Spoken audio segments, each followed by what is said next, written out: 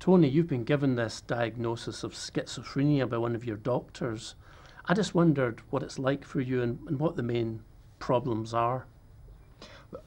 The main problem is these, well, they tell me that it's a problem to do with my schizophrenia, these voices. Mm.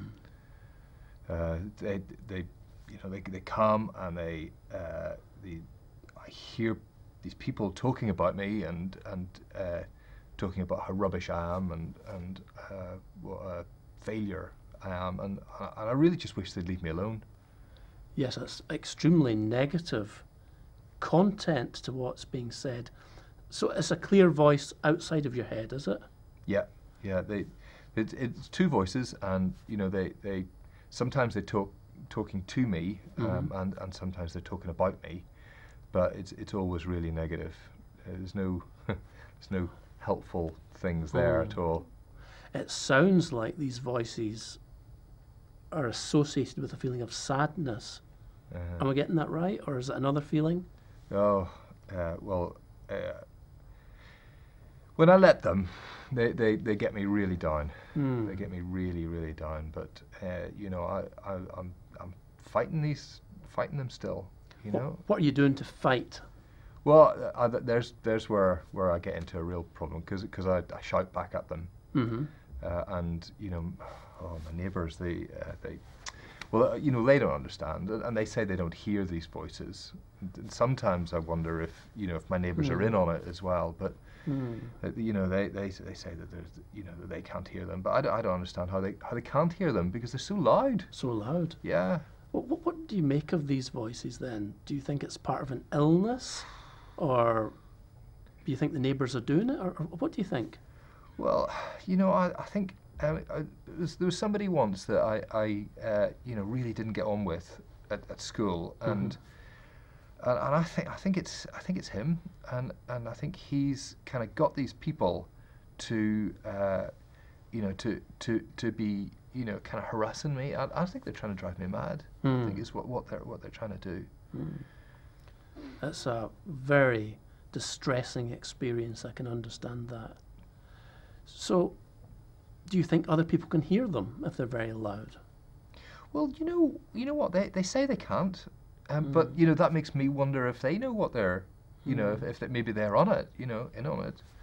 But um, everybody says that they can't, and you know, I, I, I don't know. I've, I've tried. My CPN said, mm. you know, why, why don't I put a recorder on? Mm-hmm. You know, when when the voices are are are there, um, and you know, I, not it didn't pick them up but I, I don't know. Maybe maybe it was faulty or something. It just uh, nobody else can hear them. I guess is, yeah. is the answer to your so question, or everybody says they can't. Even with the tape recorder, you still don't think. That, well, you think other people maybe can see them, hear them. Well, sometimes I think people can hear them, mm. uh, and and sometimes I think you know, well, well, maybe maybe the maybe my CPN's right. Maybe maybe it's my imagination. So, is it just you that hears voices, or do other people in society hear voices, Tony? Well, there's there's somebody else at the day centre, and and you know he hears voices that uh, other people can't hear, mm-hmm. and you know we, have we've, we've talked together, and uh, and I can't hear the voices that he's hearing. Mm-hmm. Uh, That's interesting, isn't it? Yeah, yeah.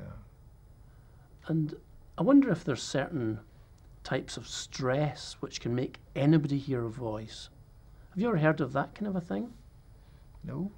Because quite often soldiers coming back from the war will be hearing the sounds of battle, gunfire and helicopters, etc. Mm-hmm. So it's actually they're not actually there, right. but they hear them as if they're real. Right. And it's linked to the stress of, of being in a war. Okay. Do you ever find that your own voices are worse if you're not getting a sleep, if you're sleeping really badly?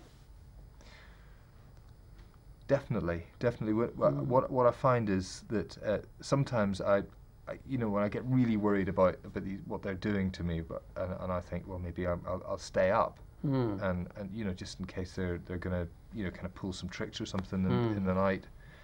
Um, and and times when I do that, you know, actually, the, I do hear them more, mm. you know, hmm. the, the next day.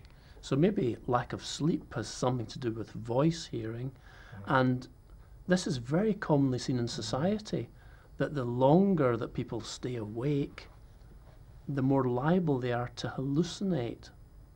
What about drugs? Are there certain drugs that cause voices? What do you think? I, I, I don't know. I, I, I, I guess um, I've, I've heard people talking about being a bit paranoid when they take cannabis. But Yeah. I, I don't- I don't know whether, whether that would be. I mean, there's other types of drugs that make you see things, Uh, like have you known anyone that's taken LSD or anything really nasty like that? yeah, I've heard that. Can really make you hallucinate things that aren't mm. actually there. Yeah. So there's lots of possible causes. It seems like the human brain can very easily hallucinate under certain conditions. Right. And there are certain things that can keep that hallucination going. So it seems like about 8% of society will have a period in their life of hearing the kind of voices that you're hearing, Tony. Mm-hmm. But the vast majority of them will get better again. Right. So 8%. 8%. So it's, it's a very common human experience. Mm-hmm. But at the far end of that 8%, there's a group of people with a diagnosis of schizophrenia because their voices are so distressing. They're hearing them day in, day out, uh, and they're really affecting their life. Mm-hmm. So that, that is where that kind of label comes from Yeah. basically everybody at some point has had some kind of hallucination, whether it would be hearing things, seeing things, feeling a touch. Mm-hmm. Mm-hmm. How, how, how do you know that? Well, it is said, Tony, that following grief, you know, when someone close to you dies, Yeah. as you grieve over the loss, there's always a phase of hallucination. Mm-hmm. And during that phase, you will either see that person, or you'll hear them speaking to you, or you'll smell a perfume or an aftershave, or mm-hmm. feel their touch. And after you've finished grieving, it doesn't happen anymore. Right. One of my friends is, is an artist, and uh, after his mother died, he heard her speaking to her for three months. Mhm. He eventually got over her death, Mhm. and she stopped speaking to him. Right. So it's something that we all do, and how we react to it seems to be crucial. That's interesting. Because I, I, I, I, I know that uh, I've been I've been fighting these this experience Mhm. for, for a long time now. How, what effect does that have? Well, it seems to be the case that there are some things we can do that will worsen and perpetuate voice hearing. Right. There are some things we can do which will take the edge off it and bring it under a bit of control. Now, to have it under a bit of control would be very different to the way you've dealt with your voices to date.